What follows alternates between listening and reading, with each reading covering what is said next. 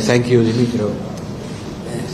Thank you for hosting us and thank you for inviting me yesterday to participate on the events to honor the Ukrainian combatants.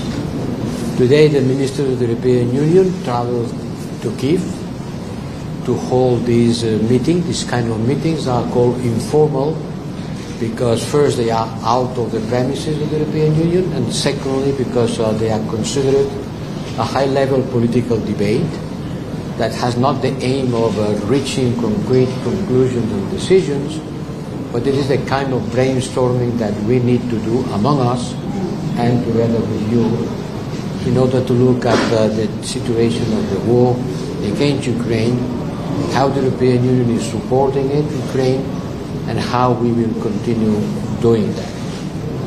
We will study the peace plan formula, Zelensky plan formula, in order to gather more support around the world and prepare the next summit. All my colleagues come here, dear Dmytro, with the will to show, to express, through their commitment and the commitment of the European Union to continue supporting you in front of the war of aggression of Russia against Ukraine. Mr. Kuleba, question, Mr. General. Um, how concerned